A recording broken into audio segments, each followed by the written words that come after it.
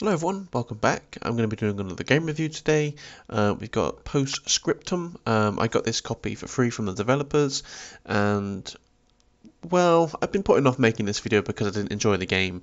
Um, and that's not to say it's a bad game because it's quite clear to me that people do like this. But personally for me, I didn't enjoy this um, and I will try and explain my best way around it.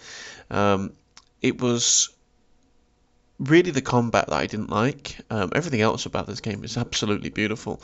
The game looks incredible, it's accurate, um, it runs super smoothly, but the combat just didn't feel so great. I'm going to see if I can show you a little bit. I've installed it ready here.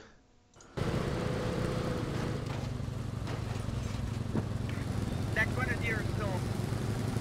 I got the grenadier. He's dead, he's dead. Nice, man. So this is what I'm, uh, I'm talking about. The controls just feel sluggish. Um, really don't feel nice at all, to be honest. The animations are nice, and like the particle effects, textures, it all looks great, and I don't want to take away from that. That, that grenadier's not dead. Sounds like there's a few people in. Yeah, and it performs well. Got good some some good frames here.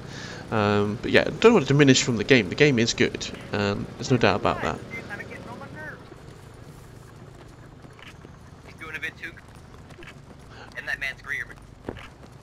I forgot that there was the um, in the bushes. in-game communications here. Somebody mark him. Really nice Give me a rough reference. reloading It's a mark for you. animations. I think I should have. Is he on the other end? Mm, I don't really remember how to play it. It's been that long. Um, yeah, I'm just not gonna stay in this.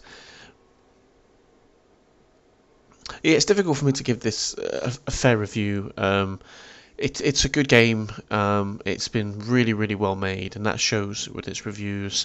I just didn't enjoy myself. There's there's not much more to it than that.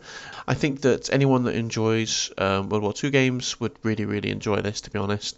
Um, but it's not for me, so I'm sorry if this video uh, sort of wasted your time at all. I don't mean to, but that's just my thought on the game.